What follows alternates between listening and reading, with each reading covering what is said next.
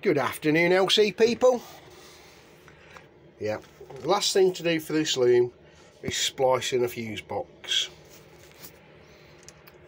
As you're all aware, those little clips, they tag snap off, don't they? You can buy new reproduction ones, I think Yambits do them. I'm not sure what they are now, 20 quid, 25 quid. Yeah, not worth you messing about, Dave. Yeah, probably not.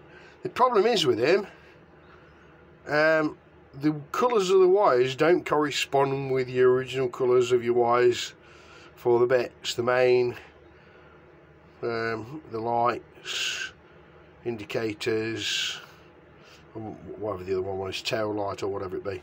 Um, so I like to rejig them anyway when I get them for the right colours to the right places, if that makes sense.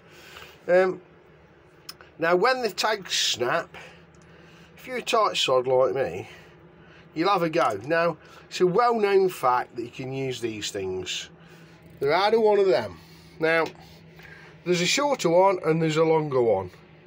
I prefer the longer one, so what I do is, is I, I basically, I solder the original spade, you know the bits that the clips were on before they fell off, because the width of that original plate, let me show you, slots in you see and it will stay in. That's why I do that fix the way I do it and that's it. Um, so yeah I'm about that uh, and then this loom will be done. It's come up very nice. Looks beautiful. The T50 I brought it in now. I'm not going to do anything at it now until in the week. It was funny I just wrote it in and noticed. That's right the offset cap this is all that's come with it. So the beauty about this bike is it's still got the original steering lock key for the headstock you know on the side and it's still got the one key. So this bike is still a one key fits all how good is that?